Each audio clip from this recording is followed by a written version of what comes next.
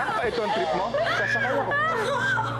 Huwag ka naman yung ano mo sa akin! Ikaw, hindi ko alam!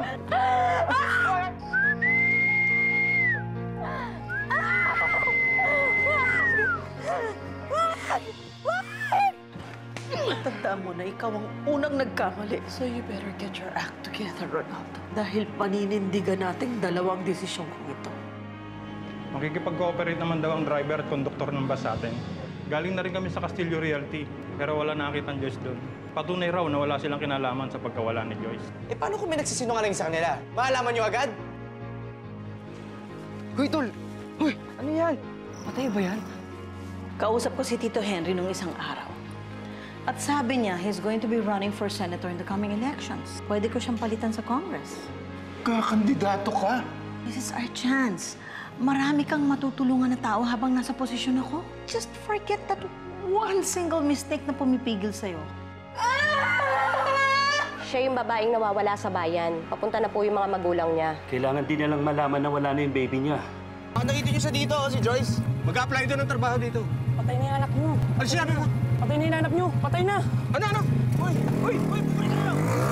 Sino siya? Anong alam niya kay Joyce? Anong ginawa niya kay Joyce? Preno! Ah! Ah!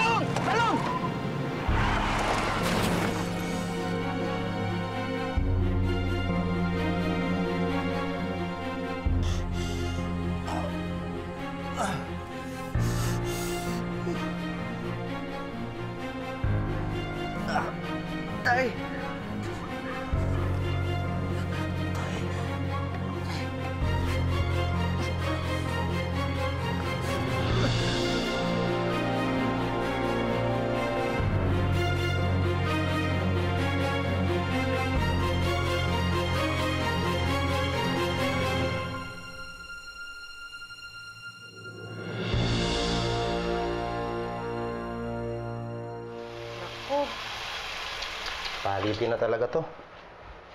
Among, sa isang araw na lang kita babayaran, ha? Kasi nabigay ko kay Christine yung, yung pambayad dahil eh, may binayaran siya sa ospital, eh. Ah, wala namang problema yun eh. Abonoan ko na lang pagbili ng tubo. Wala ka na rin problemahin sa labor. Tapos sumama ka lang sa akin manood ng sine. Ako, sorry, Mong. Wala na akong panahon sa mga ganyan. Ah, sige, salamat, ha?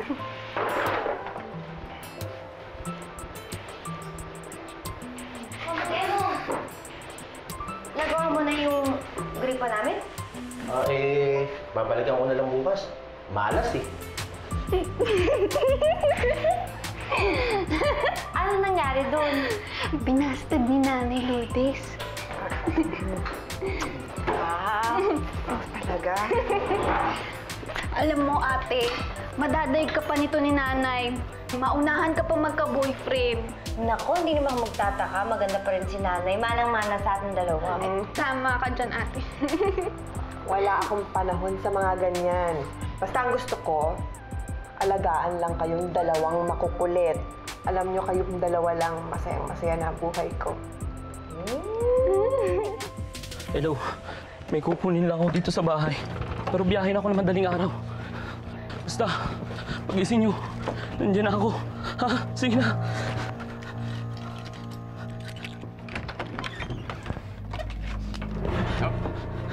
Subukan mong sumigaw at tumakbo.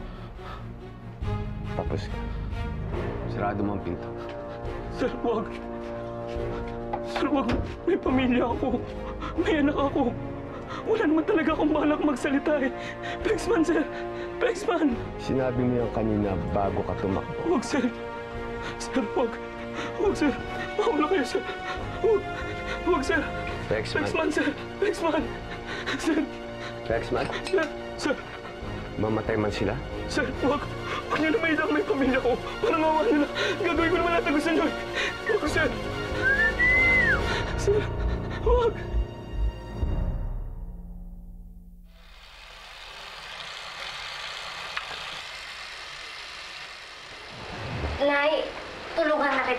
dyan. Nahihirapan ka na. Ay, naku, naku, hindi, hindi. Pa, ma- paano pa yung kamay mo? Inaalagaan ko nga yan dahil marami pa yung pasyenteng pagagalingin. Tingnan mo, malapit na ako matapos. Ang galing nyo nga, Nay. Pero grabe yung effort nyo ah. Parang iniiwasan nyo lang ata yung manliligaw nyo eh.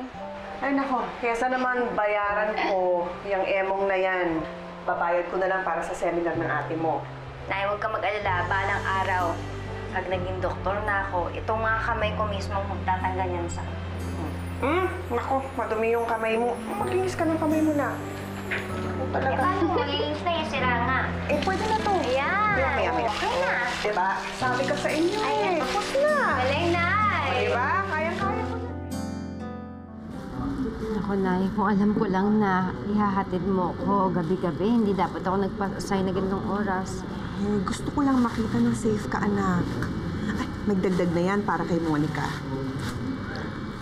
Nga pala, nagpara si, si Maida. Siningil ko agad dahil alam kong kailangan mo. Salamat, Nay.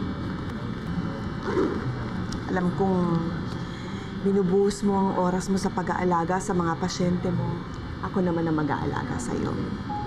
Hindi ba? Yun ang pangako ko nung iniwan tayo ng tatay mo.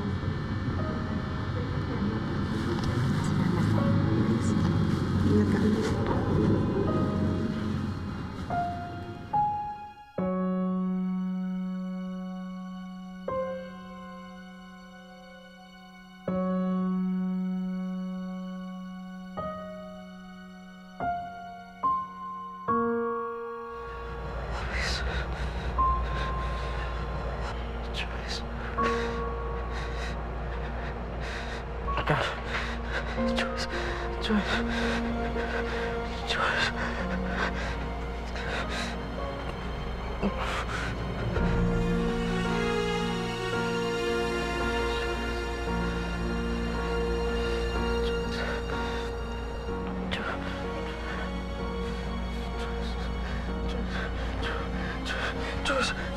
Joyce.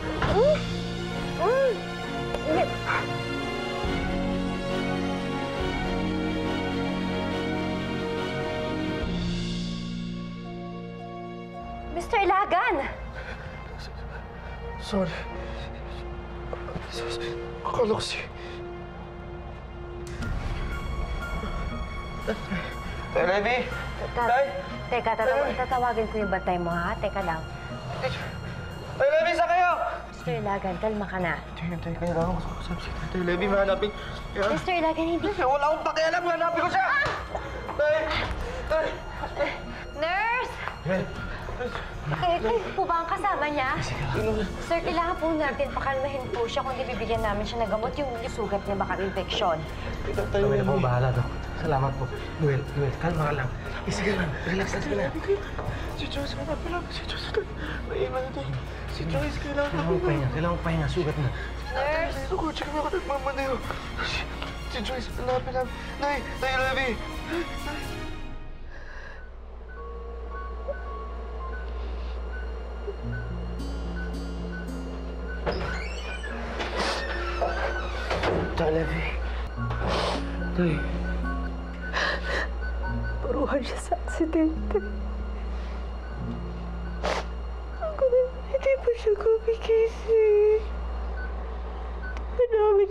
siya nakakausap.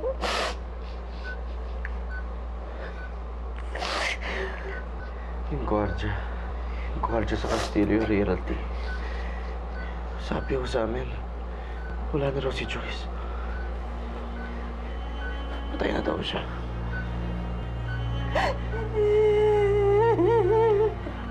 Hindi pwede mangyari yun.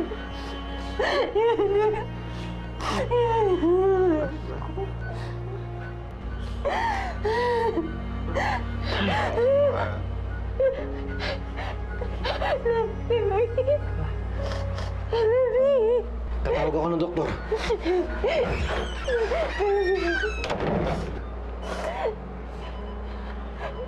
Pinapabalik ka. Parang awa mo na. Levi. Wala man kaming iwanan. Namamin ka naman. Levi.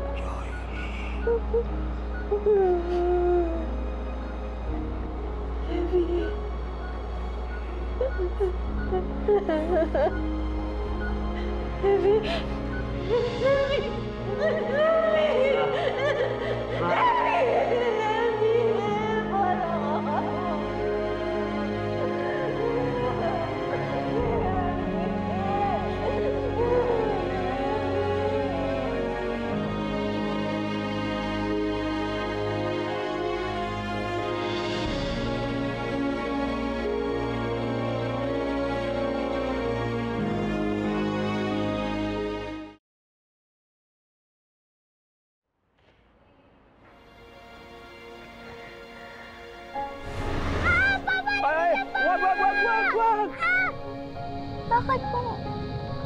Baka si Lola mo yan.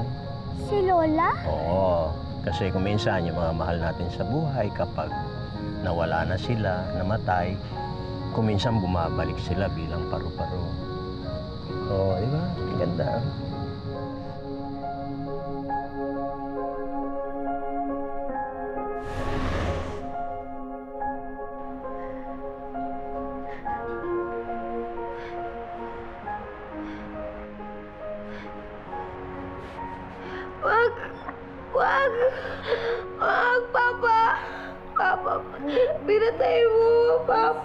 Papa! Ano nangyayari dito?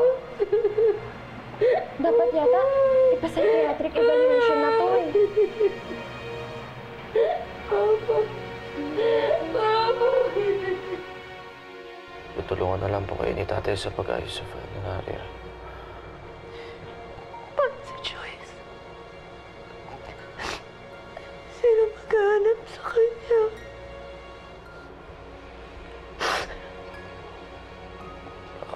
Kakausapin ko po yung polis para hanapin ho yung guard.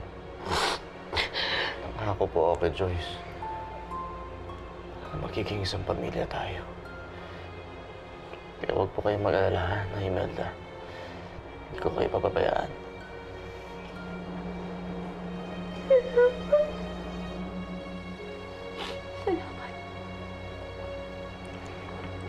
Well, magpahinga ka muna. May pupuntahan lang ako. Babalik ako agad.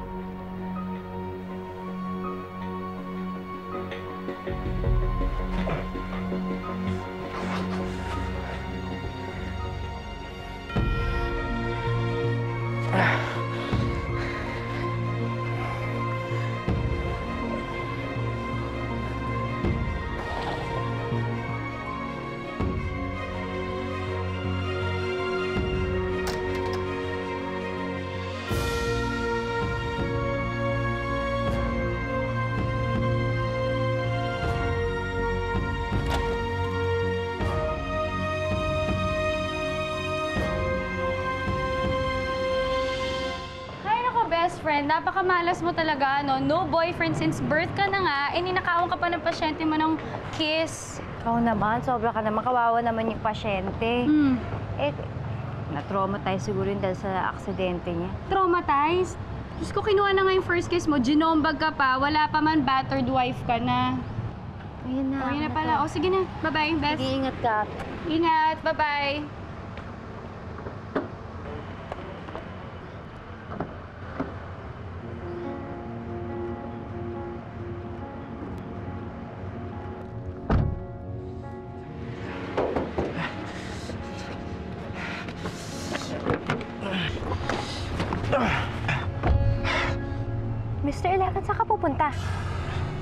Ba? Dok, yung mangialam. Pasensya ka na pero hindi ako pwedeng hindi makailam dahil pasyente kita at kahit magalit ka pa sa akin, kailangan kong isipin ang kalagayan mo. Total sa ating dalawa, parang ako lang naman yata may pakailam na gumaling ka eh. Salamat na lang, Dok. ah. Pero hindi ko kailangan yung concern niya. May hanapin ako. Na mas mahalaga pa kaysa sa kalagayan mo? Oo, Dok. Dahil mag-ina ko yun.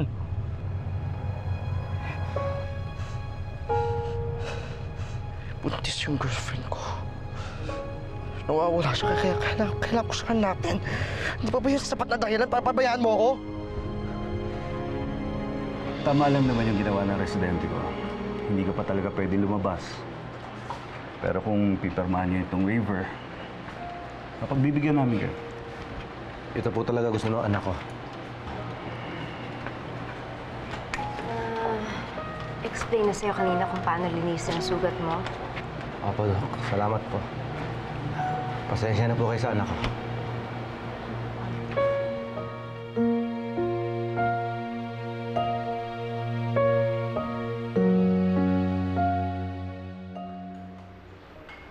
Masakit ba yan, Nak?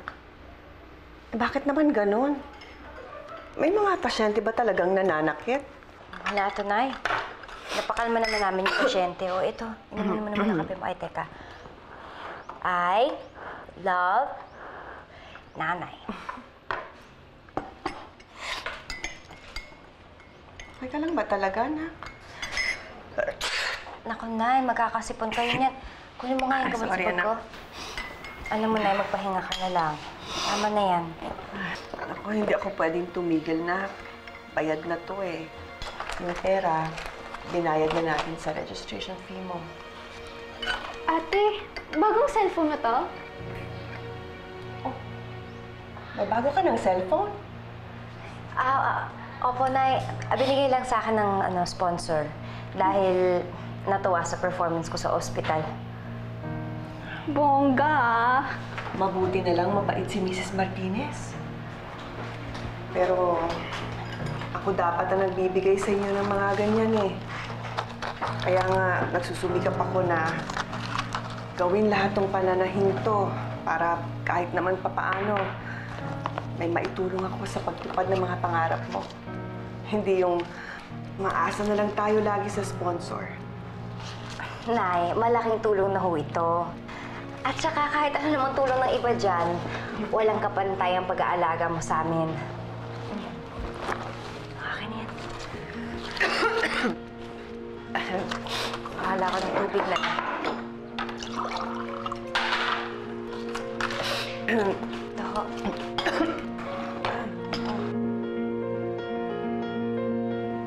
Good job, Rigor. Thank you. Si Philip. Nakita niyo na si Philip? Ha? Nasaan si Philip? Actually, Ronaldo, there's something you need to know about Philip.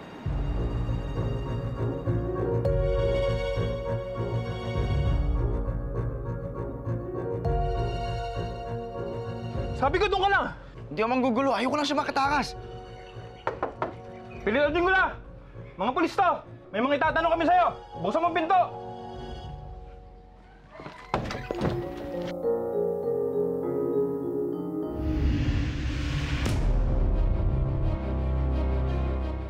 Rigor, sabi ko, dalhin mo siya rito. Enough, Ronaldo! Gusto ko siya Stop it! makausap! Rigor just did what needs to be done. Kung hindi kakanta ka ng gwardyang yon.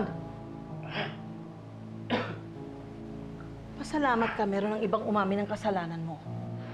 And soon enough, titigil na sila sa paghahanap nila kay Joyce. Hindi yan ang gusto ko. Inosente si Philip. Pamilyadong tao siya. So, if you believe that he's truly loyal to you, then treat this as his sacrifice for you. You were destined to be a great man, Ronaldo. Yung nangyari kay Joyce at kay Philip, malit na bagay lang yon. Kung ikukumpara mo sa mas malaking magagawa mo para sa mas maraming tao. Isang beses ka lang nagkamali. Marami pang panahon at pagkakataon para bumawi ka.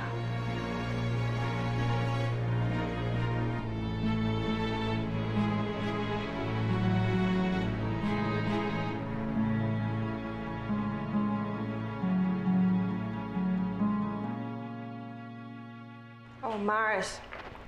Kape ka muna. Ay, salamat. Ayan. Ay, ang sarap nito ah. Ito nga pala yung bayad sa inutang naming ulam. Ay, naku, thank you, Mare. Namumroblema na nga rin ako sa puhunan ko sa palengke. Ang mamahal ng bilihin.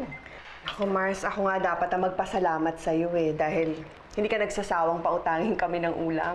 Wala yun, ano ka ba? Eh, alam mo namang inuuna ko yung mga bayarin dito sa bahay. Dahil kawawa naman si Christine pagka naputulan kami ng kuryente at tubig. Magandang umaga. Good morning. Anak, good morning. Good morning. Kaya swerteng-swerte sa'yo tong anak mo eh. Alagang-alaga. Ano mo naman, doktoran-doktoran dating flawless. Matalang ako garagna, kakapalengke. Ay nako, swerte talaga ako dyan sa anak ko dahil hindi ako binibigyan ng problema. Eh, bibili ko sana ng cellphone to eh. Kaya lang, binigyan na siya ng sponsor niya. Wow. Hmm, okay na rin dahil maibabayad ko sa mga utang. Correct. Nay, huwag kayo mag-alala. Kapag ako nag-clinic na, hindi na tayo mababaon sa utang. At ako naman ang pauutangin mo, ha? Pwede. At pag may sakit ako, ha? Libre. Sige po. Diba? Ganda ng doktora ko. Mrs., nakita lahat yan sa bahay ng suspect. Pati na tong sulat na to.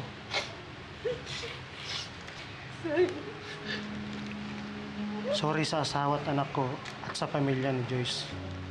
Hindi ko sinasadya ang nangyari sa anak niyo. Alam kong walang kapatawaran ang ginawa ko.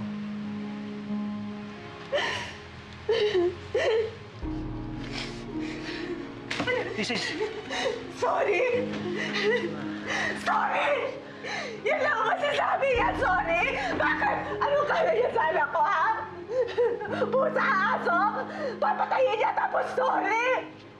Yun lang ang sasabihin niya, sorry! Bakit? Anong kaya niya sa anak ko? Anong kaya niya sa anak ko? Bakit niya ginala si Joyce? Ang bait-bait na bata ni Joyce! Bakit niya pinatay si Joyce? Bakit niya pinatay ang anak ko? Bakit niya pinatay ang anak ko? Diyos ko naman!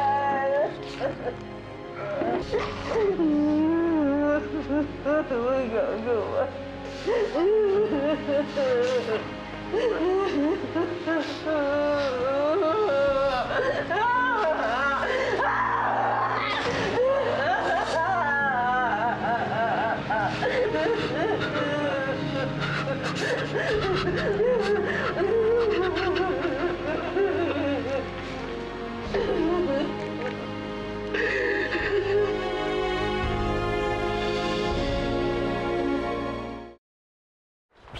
Ubusin mo na muna yung kinakain mo. Text ko ng taniyan. Ay, ay, ay, uminom ka muna ng vitamins mo.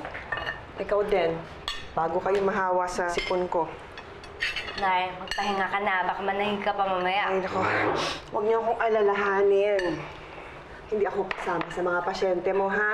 Basta pag nandito kayo sa bahay, ako mag-aalaga sa inyong dalawa. Ay, ate, akin na lang tong cellphone mo. Kasi ako na lang yung walang cellphone dun sa mga kaklase ko eh. Nako, wag na muna. Alam mo, di ba sinabi ko sa'yo, ayokong matulad ka sa mga iba kong pasyente. Kaya sila sa ospital dahil naagaw ng cellphone. Di ba, Nay? Mm-mm. Tama na. Ate naman eh. Oo, huwag ka na magsimangat. Huwag ka na magtampo, babae. Sige, mag-ingat ka. Wala po. Wala po kayong manahi, ha? Kapatid mo talaga. Okay, kumain ka na. Sige po, bye-bye. Bye. Ingat. Ubusin mo yung pagkain mo, ha? Text ka ng text.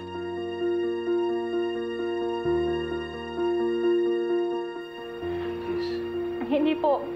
Hindi ko po siya kaya tanggapin kahit, kahit kailangan po namin. Nakakahiya po kasi yung ginawa ng asawa ko po sa inyo. Buhay lang po siya ngayon. Ako po mismo makakapatay sa kanya. Mrs., ang isipin na lang natin, naging mabuting ama si Philip sa bata. Sige na.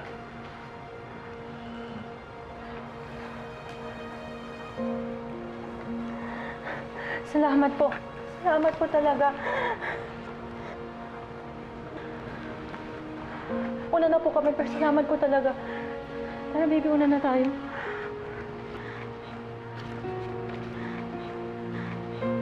Salamat po. Sige. Nakikiramay ako. Salamat po.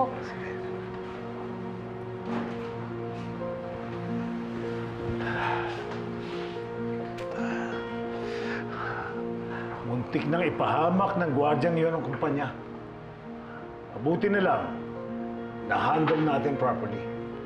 Ang mahalaga eh, nakatulong tayo.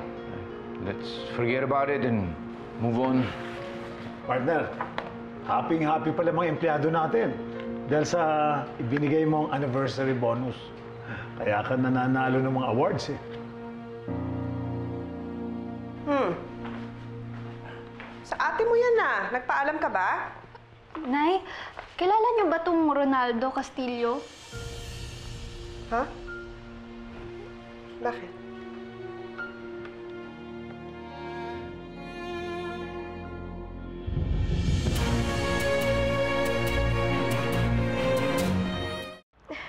Pasensya na.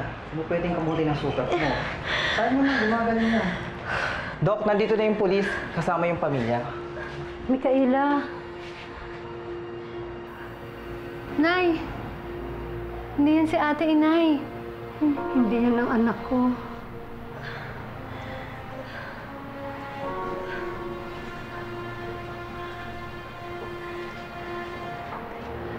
Ano bang pangalan mo?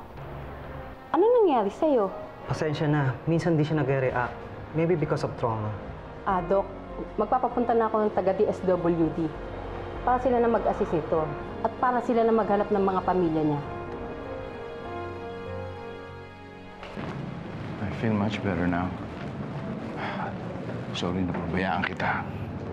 Ito, I remember, meron kang sinasabi sa aking seminar.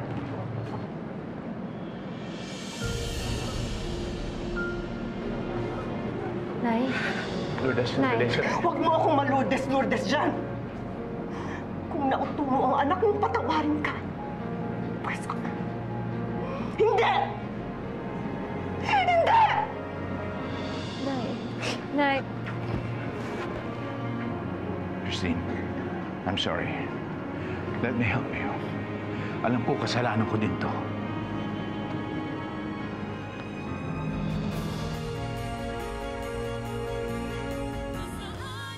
ano bang klaseng relationship to, Lawrence? You kiss me and then you insult me.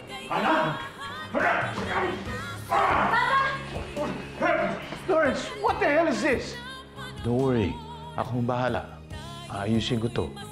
I'll take care of you.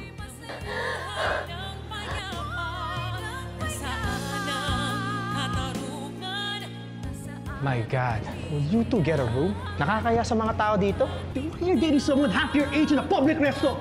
Shut up! Tay, Tatay ang tawag niya sa'yo? Because if it is, you're one sick... I don't know what you're saying. Kapatid mo siya. Tatay ang tawag niya sa akin. Ano ko siya?